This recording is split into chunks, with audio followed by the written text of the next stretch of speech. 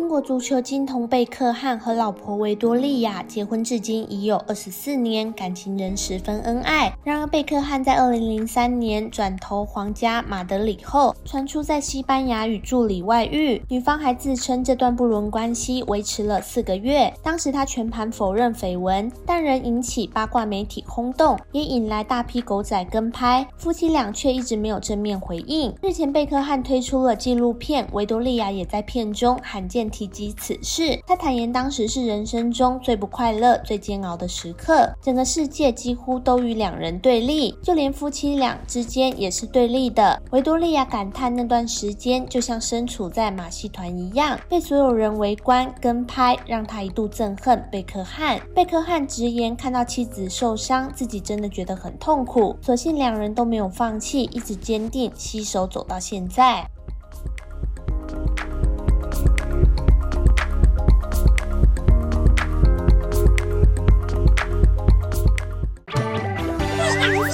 you